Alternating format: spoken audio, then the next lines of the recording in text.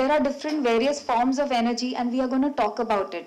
Let's move into the world of energy, which is intangible but it really affects us. Put your hands like this, close to each other, and keep your armpits slightly open.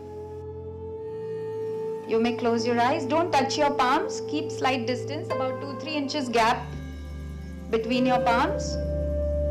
Close your eyes. Just inhale slowly, exhale slowly mentally you will say i want to feel my energy.